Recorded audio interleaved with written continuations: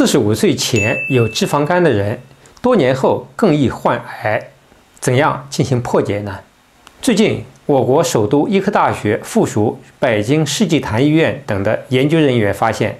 通过对六点三万人的长期跟踪分析，发现，在四十五岁前确诊脂肪肝的人群，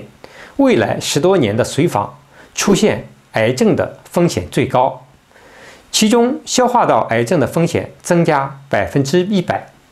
肝癌的风险升高百分之一百六十六。肺癌的风险升高百分之一百一十四，结直肠癌升高百分之一百零五。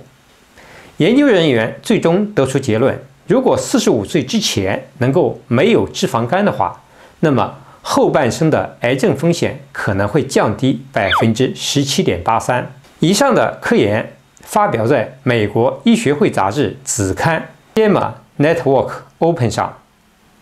因此。为了减少后半生患癌的风险，年轻时就应该注意减少脂肪肝的风险，减少肝脏脂肪细胞变性，减少肝内脂肪的堆积，逆转脂肪肝。饮食上要尽量少吃油炸食品，多吃水煮、清蒸等食品，营养要均衡，多吃新鲜的蔬菜水果等富含维生素的食物。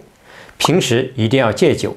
因为酒精在肝脏中分解代谢，会增加肝细胞的负担。要养成良好的睡眠习惯，避免熬夜，这也会让肝细胞得到休息，减少脂肪肝发生的风险。